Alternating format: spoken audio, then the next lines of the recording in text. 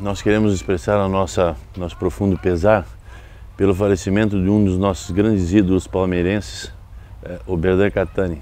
Expressar a nossa manifestação de carinho, de amor, de amizade à família toda, deixar o nosso abraço, nós que passamos pelo Palmeiras, é, Carlos Pracidelli, é, Paulo Paixão, Mortosa, Henrique, Anselmo, e que fizemos parte da família palmeirense, deixar a vocês da família o nosso, nosso abraço nesse momento e, e, agradecer por todos os momentos que vivemos juntos e tivemos a oportunidade de conviver com o Berda.